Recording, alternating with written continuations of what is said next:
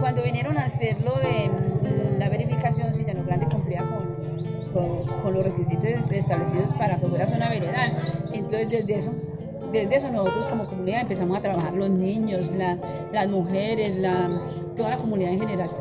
Empezamos a organizar para que cuando ellos llegaran vieran que Llano Grande era un lugar eh, que sí se podía se- ser zona veredal y que cumplía con los requisitos y que nosotros, a pesar de que éramos víctimas del conflicto, estábamos dispuestos a aportar desde, desde nuestra humildad a que todas las cosas se dieran. Y yo pienso que lo hemos logrado.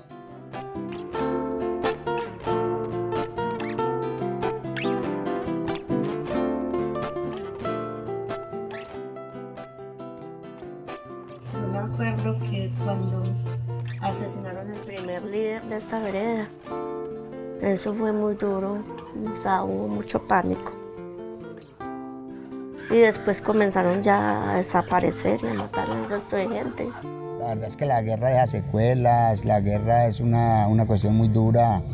y uno estuvo en eso, pero no, yo no se la deseo a nadie y realmente yo, por mi parte, yo nunca volvería a coger las armas, para nada.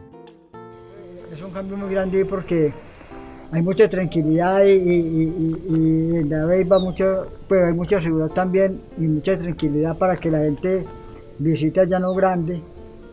y mucha gente que, que la hagan de venir aquí es, por lo que estamos vi- viviendo, porque por ejemplo acá en la vereda se, vive una paz muy bonita y que, que, que todo lo estamos construyendo desde acá. Somos de barro y aunque somos diferentes por fuera, somos iguales por dentro, somos de lo, de lo mismo.